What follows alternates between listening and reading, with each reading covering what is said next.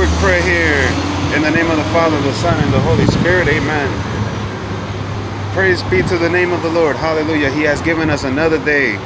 Whenever we wake up, um, you know, the next day, hallelujah, it's a, it's a good sign. Hallelujah. To, another day of salvation.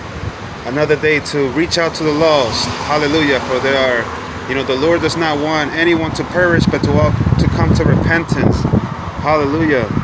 We're trying to invite as many as we can to the banquet. Hallelujah. Because he has butchered big calves of, of food for us. Hallelujah. So we had to invite everyone out in the streets, the poor, the blind. Hallelujah. The unbelievers. All types of people. Everyone. Everyone is invited. Hallelujah. To the supper, to the banquet of the Lord. Praise be to the name of Jesus. And, uh, you know, he's coming soon and the rapture is right at the door.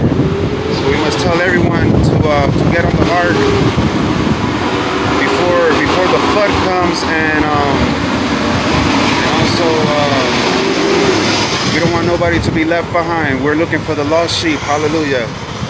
And, uh, you know, millions are going to disappear. Jesus Christ is coming. Hallelujah.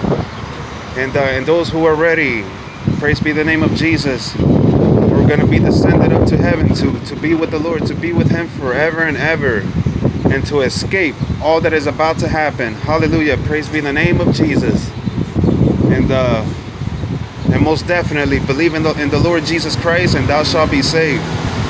Repent of your sins, walk according to the to the, uh, the word of God, and um, and follow His decrees and His laws, and, and most definitely waiting for the blessed hope, Titus 2.13.